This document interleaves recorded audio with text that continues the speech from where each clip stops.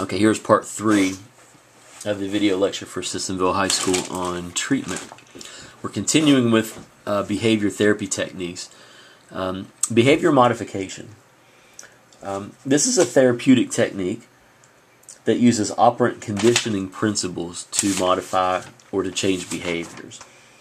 Um, operant conditioning techniques, we're talking about punishment and reinforcement. If you remember, we've talked about punishment and reinforcement at least twice that I know of uh, during the semester. If I want to, I'll start with reinforcement. If I want to reinforce a behavior, then I'm going to give you something. Okay, I'm going to give you something that you like to increase the chances that you'll repeat a given behavior.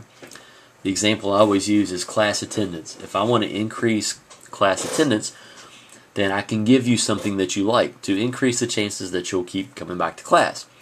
That could be a $50 bill for every class you attend. If I do that, I'm probably going to have close to perfect attendance.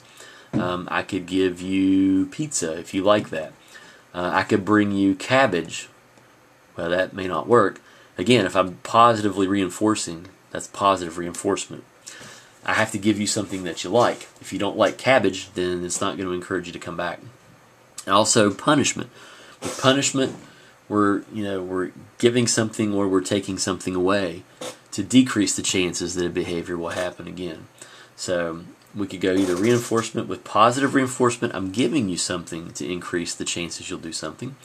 With negative reinforcement, I'm taking something away from you. It's not punishment, but I'm taking something away from you that you don't like to increase the chances that you'll do the behavior again. I could take away a final exam to encourage class attendance. I could say, okay, if I have perfect attendance for the next three weeks, nobody has to take the final, which I'm not saying, by the way. That's hypothetical. That would be negative reinforcement. Um, punishment, you can see the, the cartoon right here on the left hand side. Uh, the, the, the girlfriend or wife is saying, feed off the furniture, and she's squirting him with a water gun.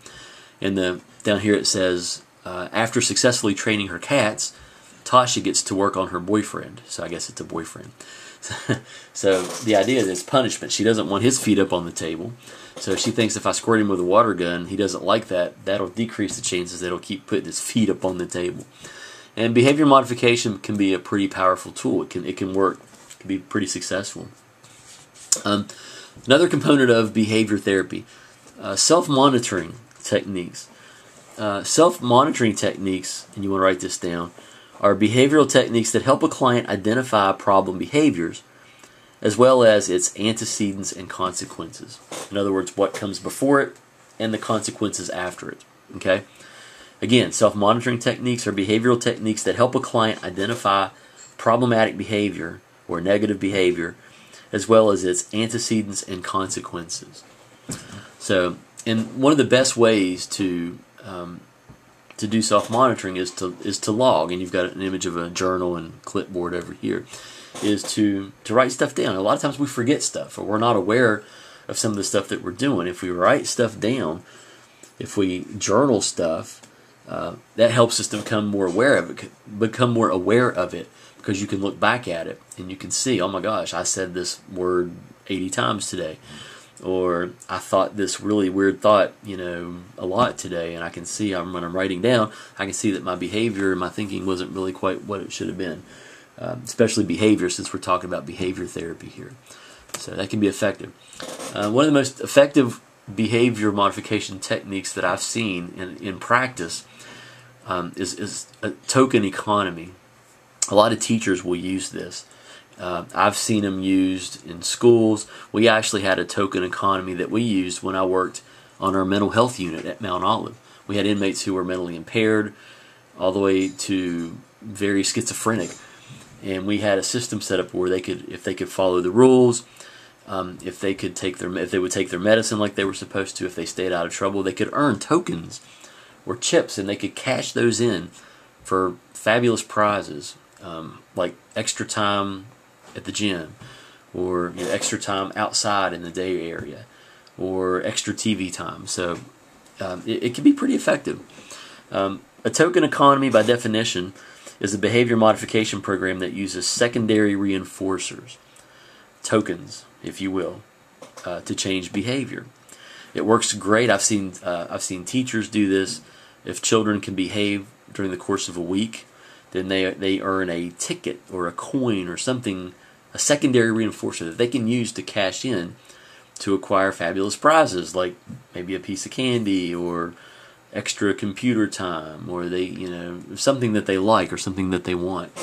So it can be very effective. Now cognitive therapy. Moving on to the next type. Cognitive therapy is designed to help clients think realistically and rationally in order to reinterpret events that otherwise would lead to distressing thoughts, feelings, and or behaviors. And I'll repeat that again in just a second. Um, but here the focus isn't on the behaviors, it's more on the thinking that causes the behavior problems and issues. So again, cognitive therapy is a type of therapy designed to help clients think realistically and rationally in order to reinterpret events that otherwise would lead to distressing or negative thoughts, feelings, and or behaviors.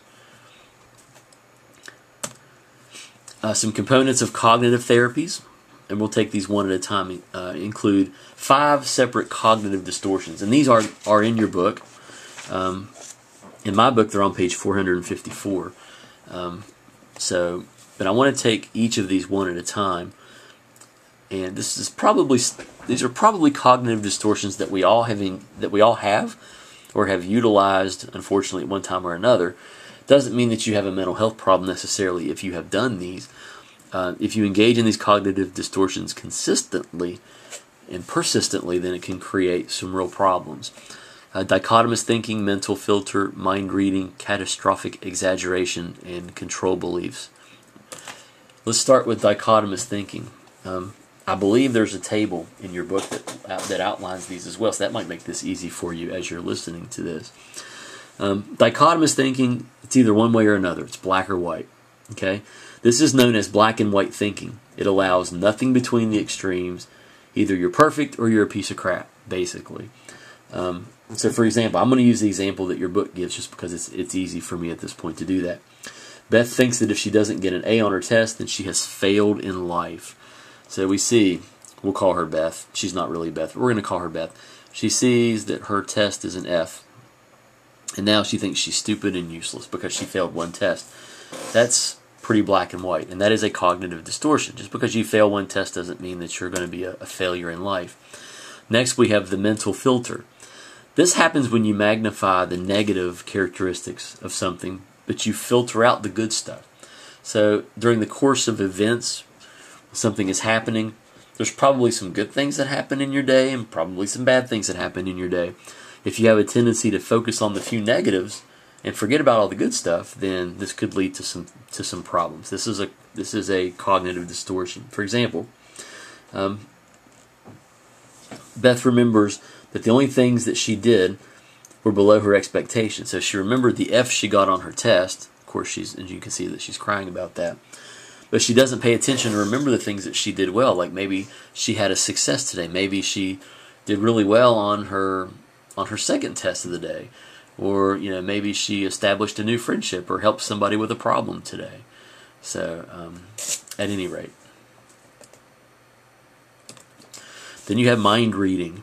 This is the third cognitive distortion that you'll you want to understand. Believing that you know exactly what other people are thinking, particularly as it relates to you. A lot of times people feel that others are making fun of them or talking about them. This is not the same thing as being paranoid. Um, but it's you know a lot of times people who engage in this cognitive distortion uh, distortion are are incorrect. Example: Beth believes that she knows her professors think less of her because of how she did on her exam, when in fact they don't they don't think she's dumb or stupid at all. Rather, they're concerned about her. Then we have catastrophic exaggeration. this is thinking that your worst nightmare will come true and that it will be intolerable. Um, Beth's fear is that she'll be kicked out of school. She's failed her test. So now she's afraid she's going to be kicked out of school. She's going to end up being homeless, living on the streets. Um, maybe she's going to get suspended, even, you know. Stuff that's probably not really going to happen. Um, a more likely reality for Beth is that she may actually have to, you know, do better on the next test, or maybe take the class over if she has failed several tests. But we have a tendency to kind of exaggerate those things. a little bit, or some people do, I should say. And then the last one are control beliefs. Uh, control beliefs involve believing that you are helpless and totally subject to forces beyond your control. Uh, so you are basically at the whim and mercy of everything else around you. You are being controlled. Um, to some extent, certainly things happen around us that we can't control, but we're not helpless either. That's where the distortion part comes in. Um, until talking to her family friend, Beth thought that there was nothing she could do to change the downward spiral of events of her life. Um, so, getting someone to realize and understand that hey, you can take control of your life. You, you know, you're not going to end up homeless. You're not going to get kicked out of school if you take control of your life and do things the right way. So, those are the five cognitive distortions. And I'm going to go ahead and call that the end of this section right here. Thank you.